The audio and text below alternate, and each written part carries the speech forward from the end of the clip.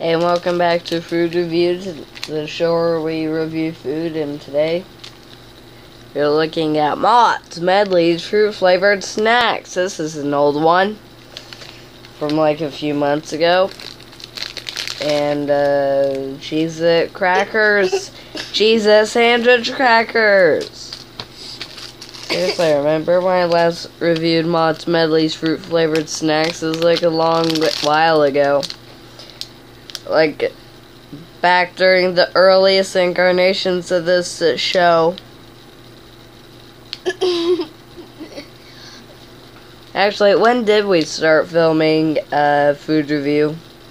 Uh, we started on the 6th of September. September 6th. Yeah, it, this is actually an old series. They're not that old, it's only been like five or six months. Yeah, it's been six months.